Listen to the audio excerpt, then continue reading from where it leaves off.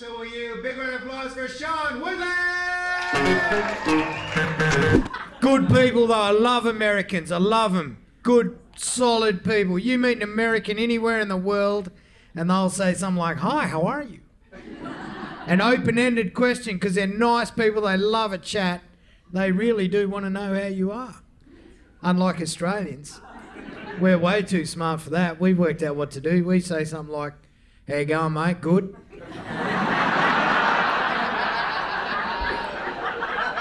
We give you one choice, don't we?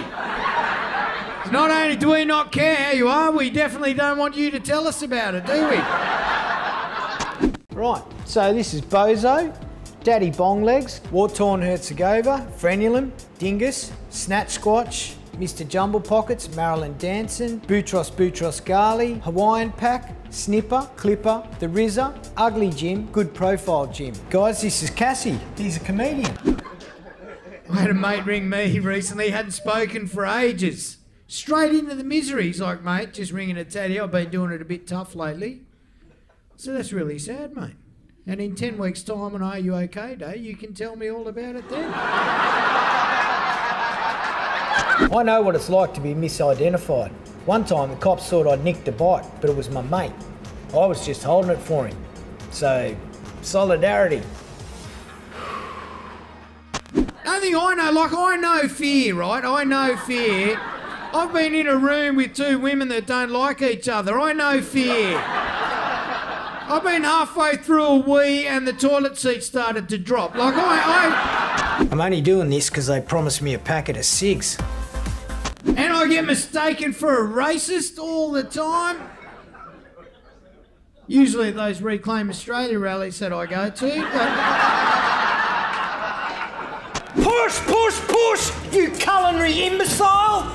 For some reason, it's acceptable for me to hurl abuse at you in the kitchen, whereas in any other occupation, it'd get me fired. Yes, chef.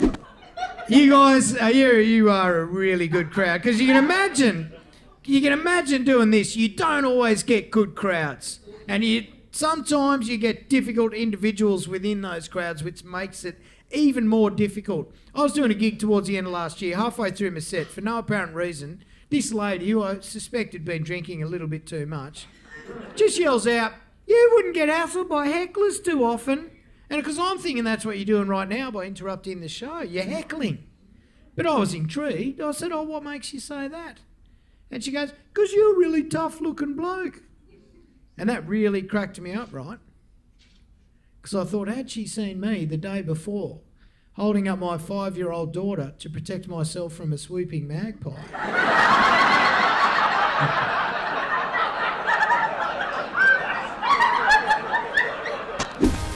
Come on, you've got five minutes to go. Plus another 40 hours you won't be paid for. Push, push, push. It's good living over here, just where I live. I, uh, I live right opposite the racetrack, Randwick Racecourse.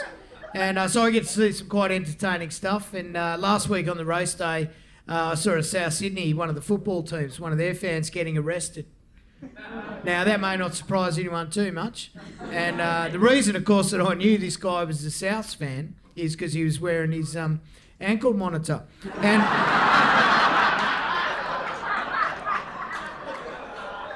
And he was getting arrested. He was doing some graffiti on a wall, and I looked at it. Childish, immature stuff. But what it did, it immediately reminded me of how at school I used to sneak into the empty classrooms at lunchtime whenever I could and do those massive dick and balls drawings all over the blackboards till I got caught and they fired me. I gotta leave it there. Thank you very much, everyone. This what am I doing this for?